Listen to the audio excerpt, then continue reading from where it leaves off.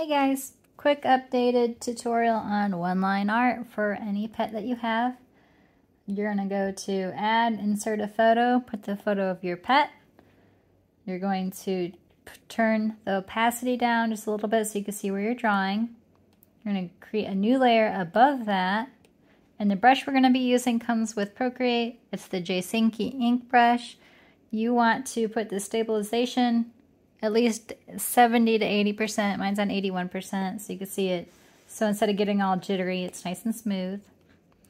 All right, and then you're gonna pick your color. I'm gonna do black. Make sure you're on the layer above your picture. And just think about what you want each part to look at before you start. So I like to start left to right because I'm right-handed, so I'm gonna start on the nose. I'm going to start over here. And if you press hard, it'll get uh, thinner. And if you let go, the brush will be thicker. I'm going to go over to the ear over here. I'm going to get some of his little fuzzy ear holes. I'm going to get his cheekbone right here. I'm going to get his nose. I'm going to do this eye right here. Swoop around. Trace over lines I already did to get back. Do some of his neck furs.